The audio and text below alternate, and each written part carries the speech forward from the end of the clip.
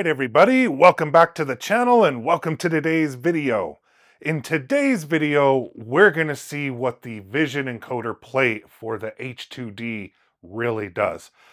I looked at the website and over what they said and claimed that it does, and they just say it does something about accuracy and precision and injection uh, molded like prints or whatever. So in today's video, I thought it'd be cool if we did a couple of tests on it and um, see if we can see any discernible difference between how it came directly out of the box and after we do the um, calibration with the Vision Encoder plate. So in today's video, we'll print a couple of benchies, and I thought it'd be cool to print a couple of squares and to place those around the plate to um, check the precision of each of those squares as they move around the plate. So in today's video, we'll be doing a couple of those tests and I'm checking out the Vision Encoder plate. So if all that sounds good, sit back and relax and I'll get everything ready.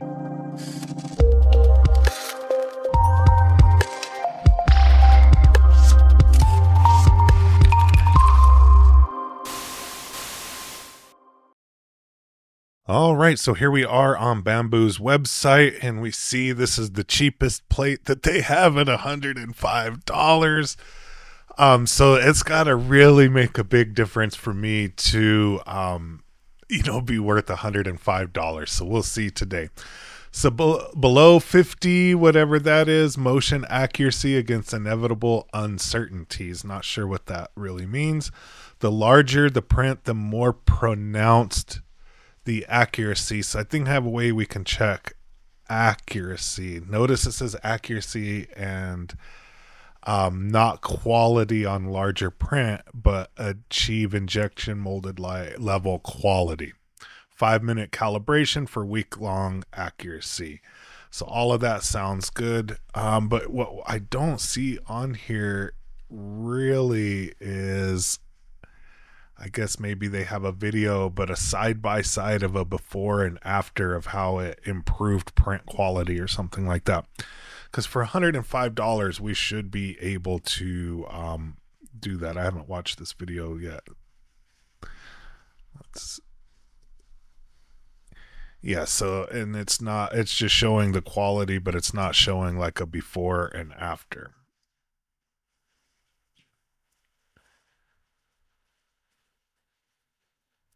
and that's a cool little gearbox assembly there and everything um but you know it's not like the quality of any of the Bambu printers is bad per se um, so it'll be interesting to see what this does. So we'll run a couple of tests. Let's do some before prints and then um, we'll do the vision encoder uh, calibration and then we'll do those same prints after.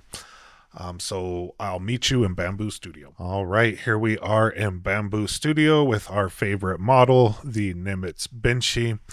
Um, we will go ahead and print a brand new one of these um, so that we can compare with another one after we run the vision encoder test. So let's go ahead and slice the plate. And it looks like an hour and 19 minutes. So I'll see you guys when it gets done. All right, so we did get it printed, nothing out of the ordinary. I'll put that to the side. Um, once we do the vision encoder test, we'll print another one directly from the same project and everything. And then I will take a picture of them with my camera so we can zoom way in and see the difference all the way down to the layers. So now let's try the other test, what I think might help us um, with precision or whatever, whatever they were saying with precision. And really, what I think the vision encoder is doing is just a better, in my opinion, a better uh, bed leveling. The bed, you know, goes and it touches in a, a couple of points and it maps that out so it kind of makes an uneven surface um, level. And it looks like it's using the vision encoder and all of those different colors and lines and everything um, just to map the bed a lot more. And maybe that's where they're getting the precision and all of that stuff from. Um, so let's test the precision and all of that. Um, you know, without doing the vision encoder and then with doing it as well. So we'll add a little square or, you know, a bunch of squares in here that we can do. And then we'll put the calipers on there and see how accurate and um, precise they are since it said it added to precision. And since it um, said it over large prints, I'm thinking over large distances, it would be interesting to see if there's any kind of variance and things like that. So let's go ahead and add a primitive and we'll add a cube. And then we'll go ahead and scale the cube and we won't do it uniform. Uncheck that. That's just for this particular example. So we'll do 50 millimeters by 50 millimeters by 5 millimeters tall so now we have this little square that we can use so now let's make um, five more of them and now let's set these around the plate. And maybe we'll clone three more.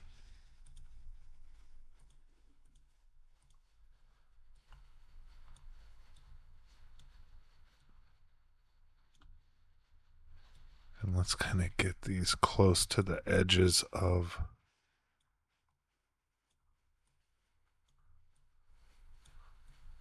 the plate.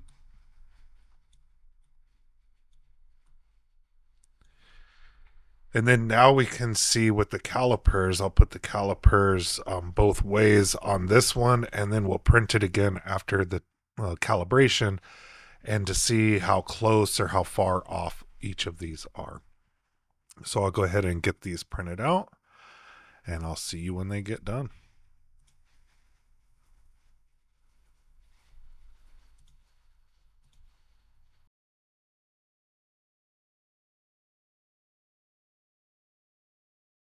All right, we have the vision plate loaded in the H2D and my camera does not like it at all. So let me go ahead and get it set up and show you how we use it to calibrate. All right, so once you have the plate loaded, we go down here to the little gear to calibration, and we want to do the motion accuracy calibration. And it says to a vision encoder needs to be placed on the heat bed um, do not place any objects on the heat bed and remove it before printing anything with it. So we'll go ahead and hit start and let it do its thing.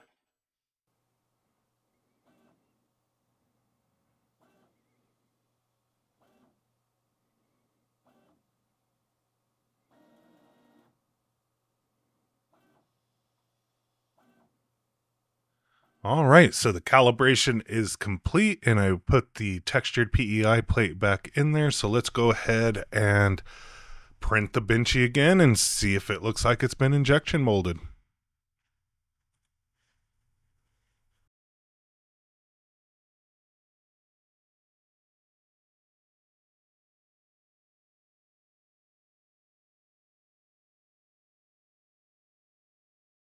Right, so here we are back in Bambu Studio, and we'll go ahead and print the squares, and then I'll snap a picture of the benchies so we can zoom in and see if there's any differences in the quality of them.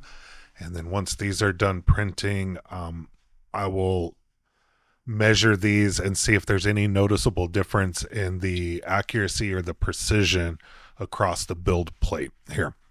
So let me get these printed, and I'll see you when I get done. All right, so here we are with the two benchies, and um, we'll go through a couple pictures here. Is the one on the left or the one on the right? The one that I did after the calibration with the vision encoder.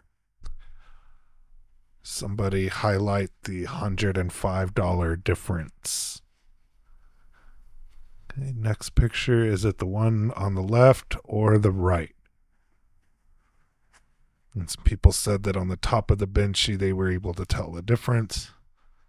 So can you tell me which one is vision calibrated and which one is not?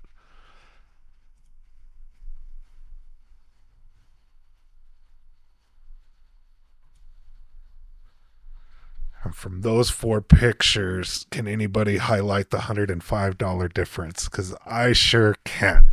Uh, to save the suspense, this is the one that I printed after we did the calibration with the vision encoder. This is the one that was done prior, the control. I've seen a few people say they saw a difference in the top of the Benchy. I'm not seeing a difference there. If you see a difference there that I'm just not seeing, leave a comment below. But I don't really see the difference here. And I'm honestly not seeing injection like injection mold like quality or whatever. I don't really see any quality difference uh, between the two. So now let's go test um, accuracy and precision, and I'll go measure all the little squares and uh, put those in a little chart for us. All right, so here we are with all of the squares. and all of the measurements with the calipers that I did. And if you just look at this, it's just a kind of a lot of numbers, and there's not quite a lot of um, detail here, if you ask me. Um, you know, 50 millimeter by 50 millimeter by 5 millimeter. I'm guessing that after it cooled down, it shrunk a little bit, and we're seeing some of that. So I thought it'd be interesting to use AI to kind of analyze this and to see what the results are. So I fed this table into ChatGPT. So let's see what it has to say. All right, so here we are in ChatGPT, and I went ahead and plugged in this table. It says I have a 3D printer that has a vision encoder calibration plate that is supposed to increase accuracy.